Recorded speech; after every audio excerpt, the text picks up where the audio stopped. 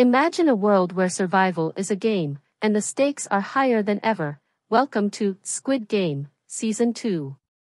This highly anticipated season is set to return to Netflix, promising even more intense and gripping moments that will leave you on the edge of your seat. Picking up from where the first season left off, the new episodes dive deeper into the twisted and dangerous games that captivated millions worldwide.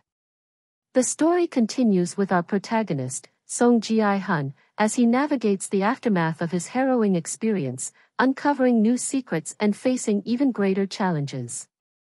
The series introduces fresh characters and unexpected alliances, all while maintaining the heart-pounding suspense and psychological drama that made the first season a global phenomenon.